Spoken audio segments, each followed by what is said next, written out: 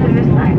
Please adjust your seat and fasten your seatbelt. Tray table should be in upright position window blinds fully open and arms down. There is no walking and standing in the cabin. The usual is no longer permitted. Thank you.